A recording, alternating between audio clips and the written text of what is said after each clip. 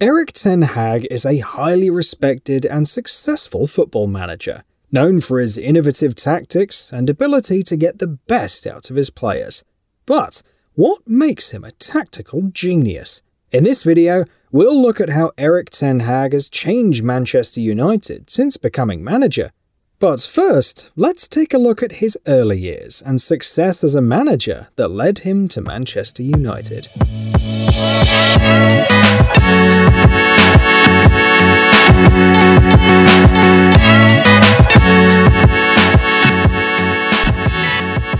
Erik Ten Hag was born on the 2nd of February 1970 in Haaksbergen in the Netherlands. Erik Ten Hag played for boyhood club academy Bon Boys before moving to Twente's academy in Enschede as he approached his mid-teenage years. He stayed at the academy until the age of 19 in 1989.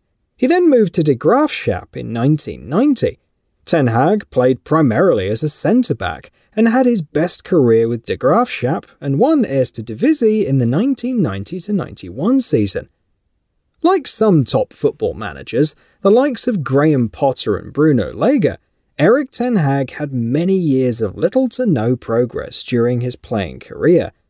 The Dutch waited for 10 years before winning another title.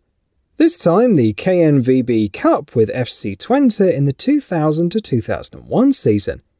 He retired from active playing in 2002 at the age of 32 while playing for Twente. He used the next 10 years of his life as an apprentice.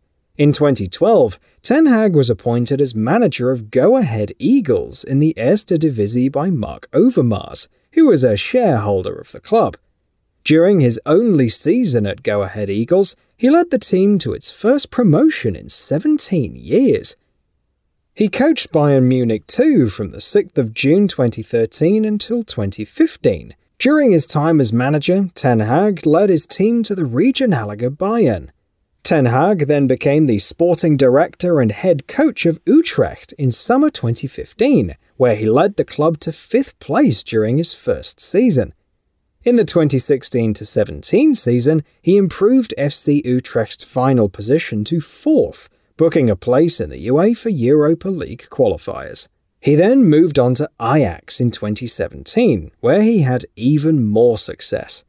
Under his leadership, Ajax won the Eredivisie twice, the Dutch Cup twice, and advanced to the UEFA Champions League semi-finals for the first time since 1997.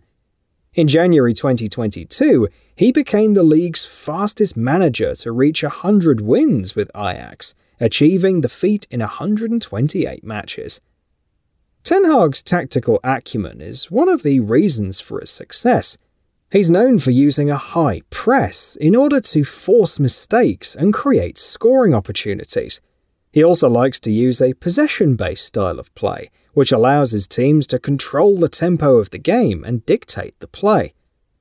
Another key aspect of Ten Hag's genius is his ability to develop young players and turn them into world class stars. He has a keen eye for talent and is able to nurture and cultivate the abilities of his players. Ten Hag's leadership skills are also exceptional. He has a great ability to build a strong team culture and create a positive atmosphere within the dressing room. Ten Hag has continued to show his tactical brilliance and player development abilities at Manchester United. After a rocky start in Manchester, Ten Hag has had to quickly adapt to the Premier League's rigorous schedule and physicality. He's slowly but steadily implementing his style of play with the players he currently has at his disposal. He's quickly becoming one of the few managers since Sir Alex Ferguson to restore the faith in the fans and balance to the team.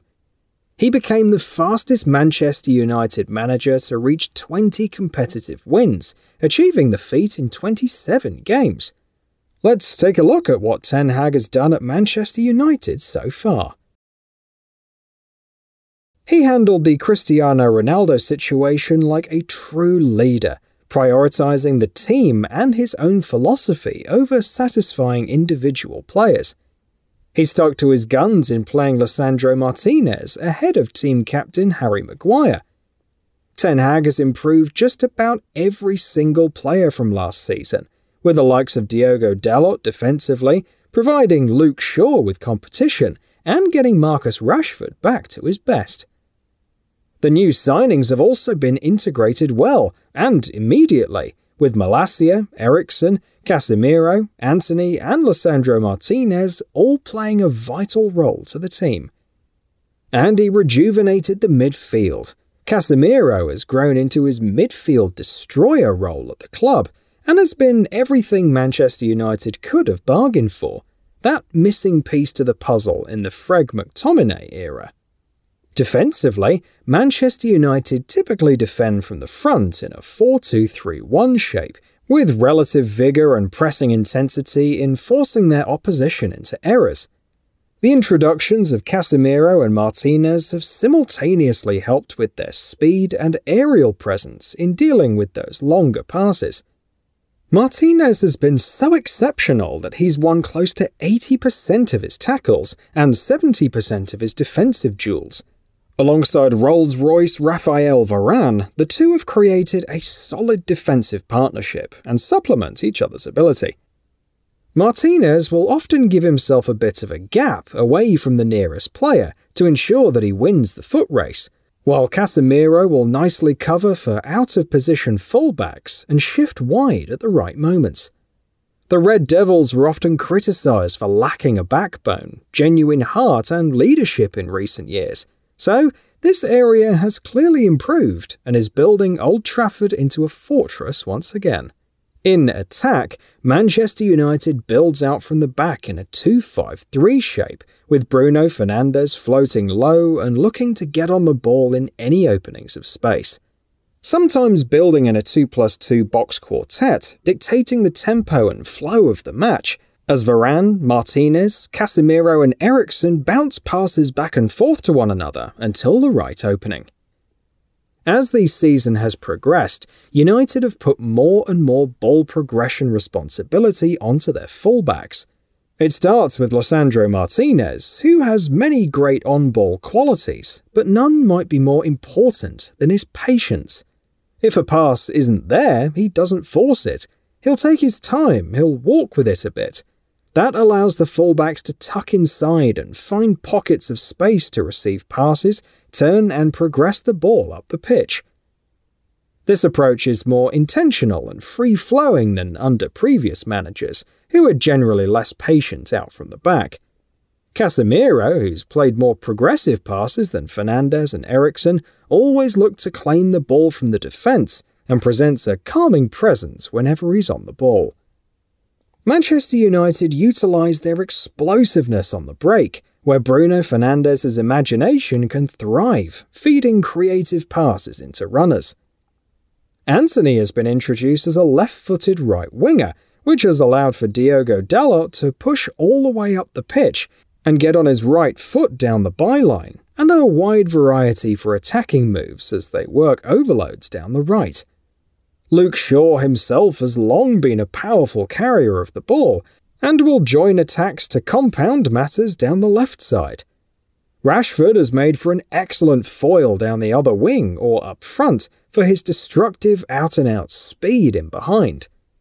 And the introduction of rising star Alejandro Garnacho, along with Sancho, Antony, Rashford, and Martial, Ten Hag has a dynamic and interchangeable attacking line. In the world of football management, Erik Ten Hag is a genius. His tactical acumen, ability to develop young players, and leadership skills place him among the world's best managers. His impact on Manchester United, off the back of one of their worst ever seasons in such a short period of time, has been nothing less than impressive. If you liked today's video, please give it a thumbs up, and don't forget to subscribe. We'll see you next time.